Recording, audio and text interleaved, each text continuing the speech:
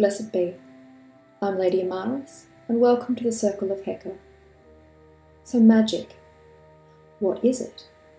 Well, it depends on how you define magic.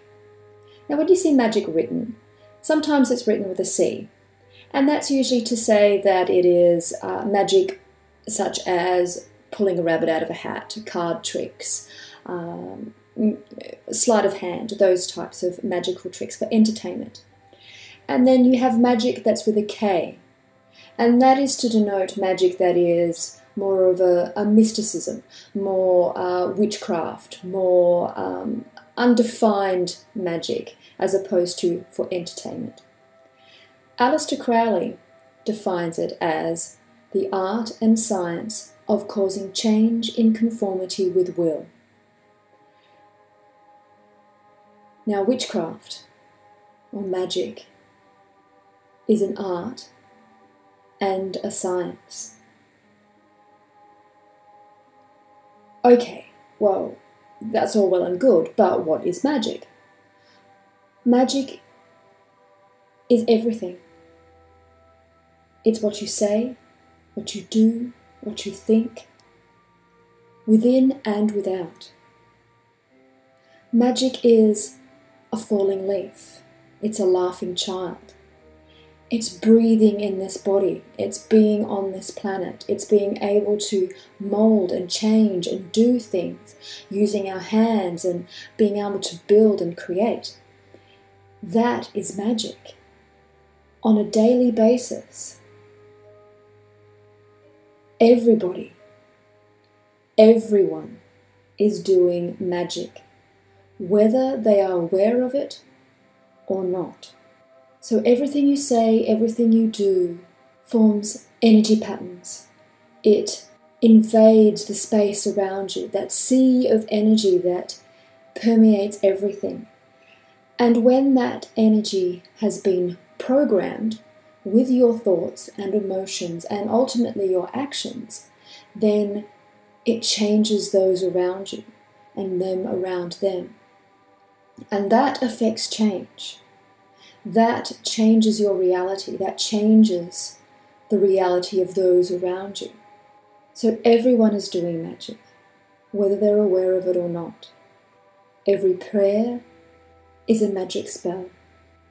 Every thought, every action.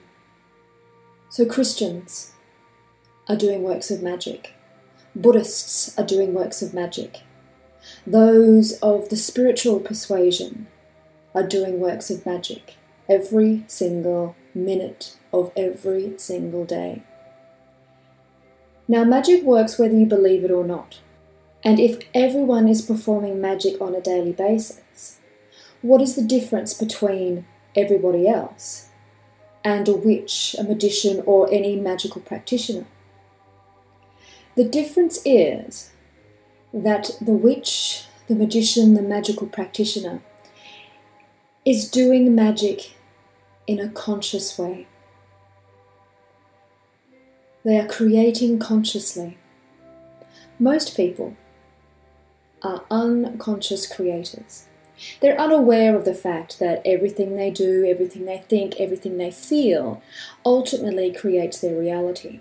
So they are unconscious of that fact and they float around in a, a bubble of unknowing not taking charge of their life because they think everything is fate and they have no control, when really they have ultimate control.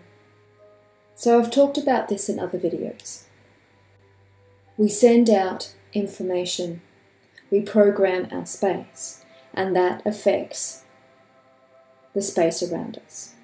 So if you are an unconscious creator, it means that someone else is pulling the strings. You are creating with the information that you've been, been provided from the television, from other people that you talk to, from the books that you read, from the magazines that you look at, um, from the television shows that you watch to the news that you watch, the radio that, station that you watch. All of these things are in your head and they are all used to create your reality. So when you're an unconscious creator, you're unaware of all those things that are buzzing around in your head, creating your reality, telling you that um, you aren't worthy of uh, X, Y, and Z because you're not pretty enough, or you're not thin enough, or because you're not a celebrity, you'll never be able to achieve this, this, or this.